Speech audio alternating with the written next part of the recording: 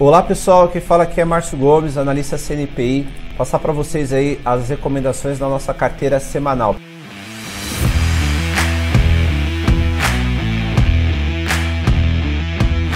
Primeiro ativo aí na tela, Petrobras. Vale recomendação de compra no rompimento do pivô aqui em 18,71, com alvo inicial em 21 reais e o stop, que é onde você vai sair se o barco começar a afundar, e se afundar em 17,55.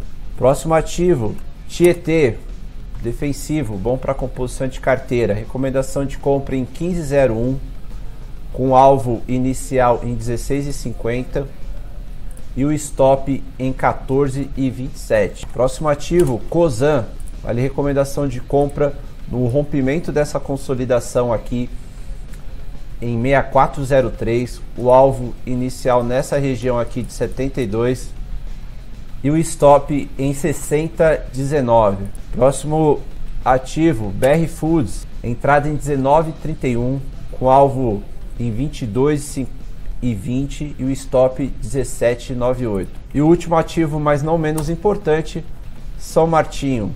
Recomendação de compra no rompimento aqui do pivô em 2001 com alvo inicial em 22 e o stop em 18,79. Pessoal, mostrar para vocês aqui o histórico da, da nossa carteira.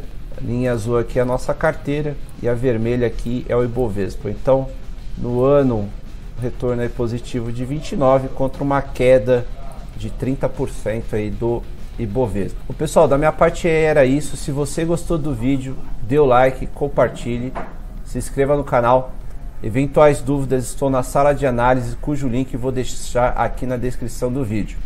Agradeço a todos, ótimo dia, ótima semana, valeu!